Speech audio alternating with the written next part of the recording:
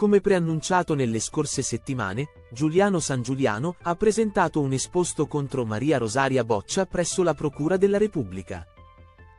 L'ex ministro della cultura del governo Meloni ha denunciato l'imprenditrice di Pompei, con cui avrebbe avuto una relazione extraconiugale, per pressioni illecite, che lo avrebbero costretto a rinunciare alla poltrona e che, secondo il suo legale, potrebbero configurare il reato di tentata estorsione. Il quotidiano, La Verità, ha visionato alcune pagine della denuncia depositata dall'avvocato dell'ex titolare del Dicastero della Cultura e reso note alcune parti da cui sembra emergere una relazione tossica. La tumultuosa liaison contrassegnata da continui alti e bassi sarebbe iniziata ai primi di giugno.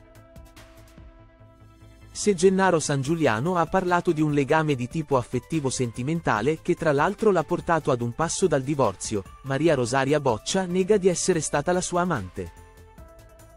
La Boccia avrebbe infilato le proprie unghie nella carne viva dell'allora ministro. Ad ogni modo, stando alle carte spulciate dal quotidiano fondato da Maurizio Belpietro, la storia d'amore, nella notte tra il 16 e 17 luglio avrebbe vissuto un momento di grande tensione. La boccia, al culmine di un litigio avvenuto durante una trasferta a Sanremo, si legge su La Verità, avrebbe infilato le proprie unghie nella carne viva dell'allora ministro, causando una vistosa ferita sulla fronte dell'uomo. E agli atti dovrebbero essere state depositate anche le foto che San Giuliano si è scattato davanti allo specchio del bagno come una qualunque vittima di abusi. Negli scatti si vede il giornalista in jeans e polo azzurra mentre immortala le proprie condizioni a futura memoria.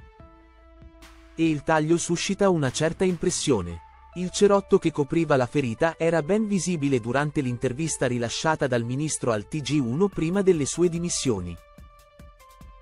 Depositate anche le chat tra Gennaro San Giuliano e Maria Rosaria Boccia. Al vaglio degli inquirenti anche le chat tra Gennaro San Giuliano e Maria Rosaria Boccia che, secondo quanto riportato da La Verità, conterrebbero anche un riferimento a quanto accaduto nella notte tra il 16 e il 17 luglio, sfregiato, se non fossi stata tu avrei picchiato durissimo. L'aspirante consigliera per i grandi eventi avrebbe ammesso di aver perso le staffe. Mi hai letteralmente mandato fuori di testa, mi hai portato a un punto imbarazzante, mi hai fatto diventare una iena.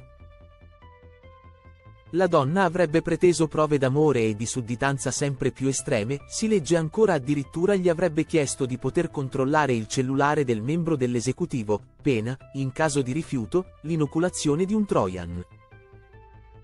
Maria Rosaria Boccia sarebbe anche accusata di aver sottratto all'ex ministro la fede nuziale. Inoltre, avrebbe chiesto con insistenza a Gennaro San Giuliano di firmare un patto di riservatezza. La presunta maternità. Libero di viverti questa esperienza come vorrai nel rispetto di tuo figlio.